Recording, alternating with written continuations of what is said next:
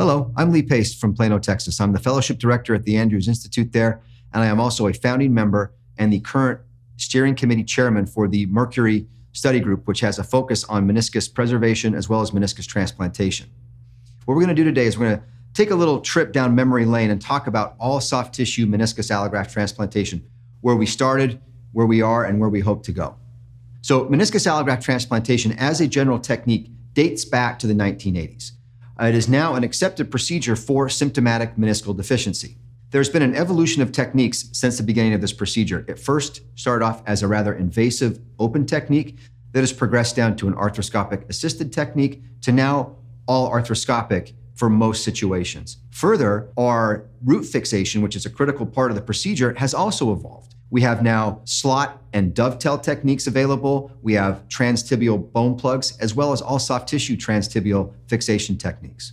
Now, soft tissue meniscus allograft transplantation has become popular because it is technically easy. However, there is a concern that there is an increased risk of extrusion, which could potentially affect the long-term results of meniscus transplantation. So the question is, is does a soft tissue meniscus allograft extrude more? And are there ways we can not have it extrude and have it be comparable to other techniques? So what does the literature tell us about soft tissue versus bone plug meniscal allograft root fixation? So this study, published recently in the American Journal of Sports Medicine, looked at two groups 33 all soft tissue meniscus allograft transplantations, and 55 meniscus allografts with bone plugs. And that was a mix of medial and lateral. Uh, they all had a similar transtibial tunnel with a six millimeter socket at the roots. All sutures, whether bone plug or soft tissue, were tied over a anterior tibial bone bridge. They all had MRI evaluation at an average of about 40 months with a range of about 36 to 48 months. So this is about a medium term follow up study, short to medium term. As you can see from table two and table three of this study,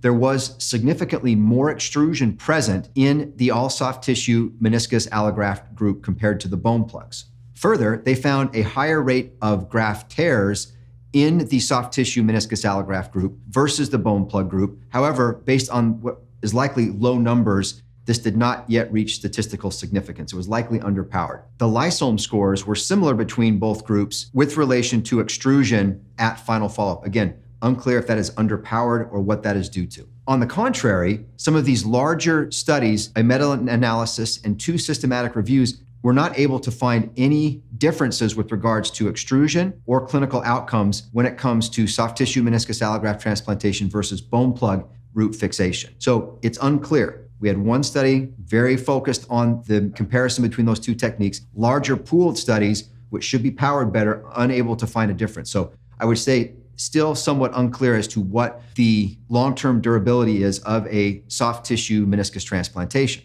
However, a recent study published just last year in the American Journal of Sports Medicine shows the importance of extrusion on a meniscus transplant. So, this study at long term follow up, 10 to 14 years, evaluated 21 meniscus allograft transplants split between medial and lateral versus a control group of a meniscectomized patient population. They obtained x rays and MRIs at five years and at final follow up. What they found was that there was significantly less joint space narrowing in the meniscus transplant group compared to the meniscectomy group. Further, the advancement of the Kellgren Lawrence grade was less increased in the meniscus transplant group compared to the control group. And there was a trend to significance with less chondral degeneration on T2 mapping MRI for the meniscus transplant group compared to the meniscectomy group. When you then looked at extrusion, so we took all the meniscus transplants and then said, were they extruded, which as defined by three millimeters or more of extrusion laterally or medially versus those that were not extruded, that's where the significant difference was found. A well positioned meniscus transplant, medial or lateral, acted similar to a native meniscus, whereas an extruded meniscus transplant behaved similar to a meniscectomy. So this is the first evidence that we have that says that a well positioned meniscus transplant does protect the cartilage, one, and two, we don't want extrusion because then the meniscus transplant is not functioning the way we would like it to. Let's take a look at how have we done our meniscus transplant techniques throughout history. Almost all published clinical series have a very basic fixation technique, transtibial tunnels where the sutures are tied over a bony bridge. So this is how I started doing mine. I have evolved since then. But if you look at this, that is a long working length. And those sutures have the ability to bounce. It can allow creep of the meniscus transplant. So maybe we can do better than this. The recent advances that we've made include tying over independent cortical buttons.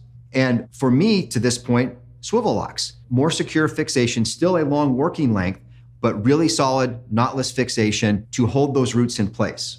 So the next advance forward is the SutureLoc anchor. And this is uniquely advantageous to a soft tissue meniscus transplant. The bunching mechanism of the SutureLoc anchor is directly below the cortical layer of the proximal tibia. So it eliminates the working length of suture and it works to keep the root directly on the tibial surface. So there's no bounce or any creep that can occur with such a very, very small working length of suture. And this is not going to be usable for a bone plug meniscus transplant because you have to have that cortical layer of bone there for the SutureLoc to work. So this is uniquely advantageous to a soft tissue meniscus transplant.